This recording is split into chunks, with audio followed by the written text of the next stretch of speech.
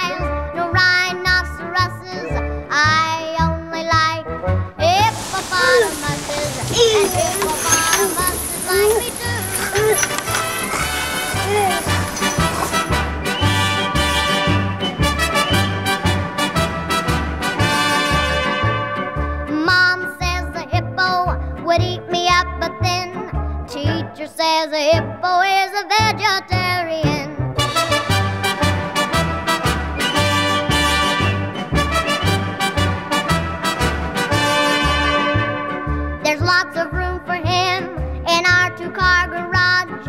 I'd feed him there and wash him there and give him his massage. I can see